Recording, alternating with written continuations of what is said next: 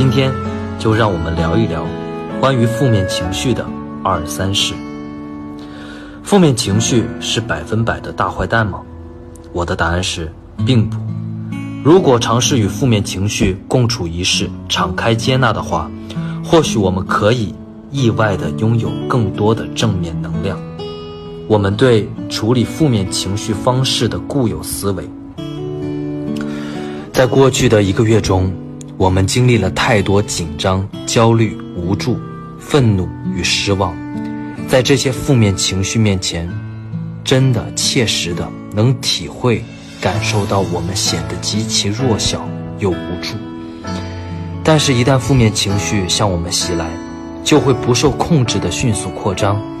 我们为了能摆脱并跳出负面情绪，会去学习调整自己的状态，来到一个适合自己的方式来排解这种负面情绪。负面情绪必然存在，需要学会共处。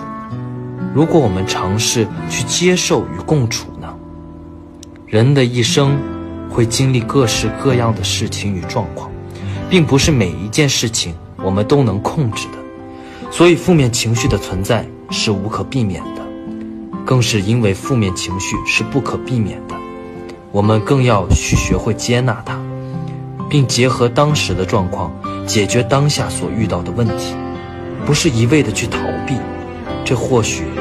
才是与情绪和谐共处的正确方式。在表演时，如果我面对一个性格复杂的角色，或者一场情绪激烈的戏，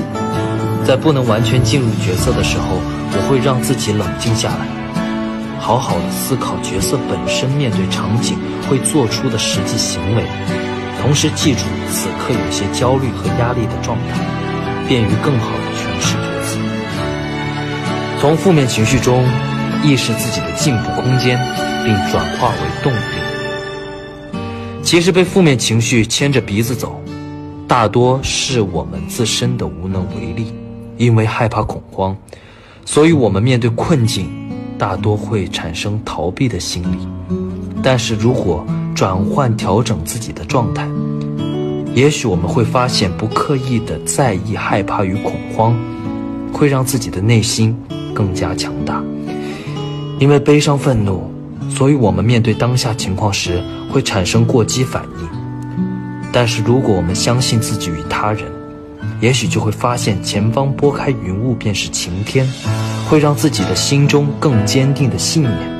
因为焦虑、烦躁，所以我们会扩大自己的不安情绪。但是，如果我们选择面对和接纳它，也许就会找到更好的方式，把这些负面情绪转化为自己的动力，发现。并意识到进步空间，可以成就更好的自己，而不是始终情绪低沉。比如即将参与高考的学子，感到压力和焦虑是非常正常的，